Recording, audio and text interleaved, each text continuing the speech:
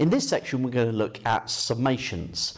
And effectively, um, we're going to be working with sigma notation, and we're going to be asked to show certain combinations of these four that we have here and be able to factorize uh, expressions and to rewrite expressions um, in terms of n. Okay, so that's really the idea. You're going to get some kind of summation. Uh, it might be something like 4r squared plus 2r plus 3, for example, uh, which we're then going to be able to break apart into separate summations, and then we're going to bring them all together, factorizing. That's the idea. Okay. Now, um, these are the four we're going to be able we're, need, we're going to need to be able to work with. These two I have written down immediately. These two you are given in the formula booklet, regardless of whether you're doing. Um, so we're in the UK exams as well, uh, English exams. Okay. Edexcel, AQA, OCRA, and OCRB, MEI all have these in their formula booklet. Okay, so you don't need to memorize those, they are given to you. How you can show that these are uh, correct, you can use proof by induction to do that. Okay, and I've got videos uh, that will go through that already. These two, however, you are not given. So we're going to need to know those. Okay, so I would like to make sure that you understand where they come from first before I write them down. So the first one, uh, we're summing 1 from is 1 to n.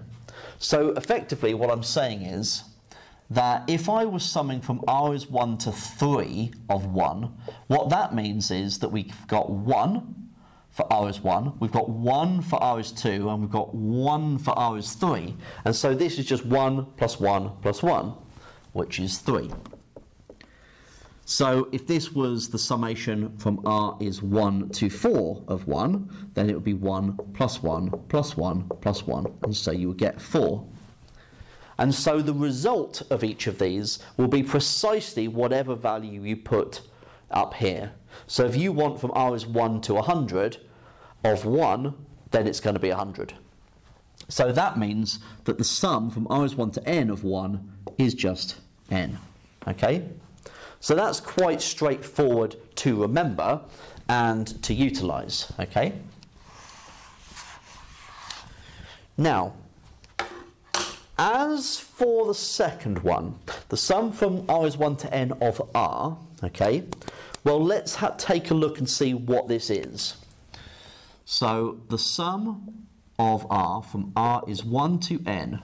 So we substitute in 1 first, then 2, then 3, then 4, then 5, then 6, all the way up to n. Okay? So this is what we need. We need an expression to represent that. So that is an arithmetic series that we have there. Okay? So this is an arithmetic series. Now, arithmetic series, sequ sequence series, we look at in the A-level maths course. Okay? Um, and I'm going to use a formula that is developed in that. Now, it really depends on when you are taught sequences and series as to whether you've met this by this point or not. Um, sequences and series is not a, an AS maths topic, and so some colleges might not teach it in the first year. Um, so it certainly doesn't. It's not get. It doesn't get taught in the first year when I teach it. Um, so um, it would be new to first year mathematicians, first year uh, further mathematicians here. But it really depends on when you learn it at college. So this is an arithmetic series. What do we know about it? Well, we know the first term is 1. So if, you're, if you've got no understanding, uh, if you haven't done sequence and series before, right, you haven't seen this before, this might look a little bit alien to you, but this is the way that we do this. So the first term is 1, A is representing the first term. The common difference is going up in ones each time, okay, that's 1. And the number of terms we have is n, okay, so n is n. Now, you could also use, because there's two formulas for this, um, the looking at the last term, which is n.